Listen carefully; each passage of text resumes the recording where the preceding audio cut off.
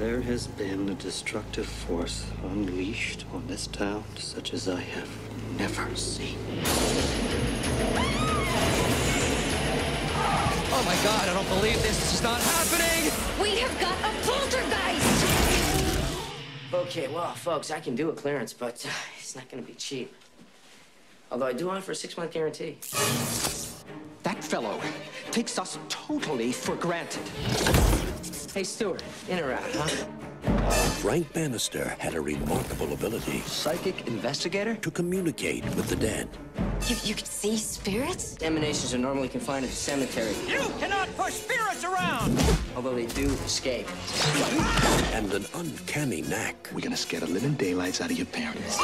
for making a profit off the living. We're supposed to be his business partners. Everyone says that you're a fraud, but I've seen what you can do. Give it up, Frank. Death ain't no way to make a living. But now, some things put the fear of death in the living What is happening to me?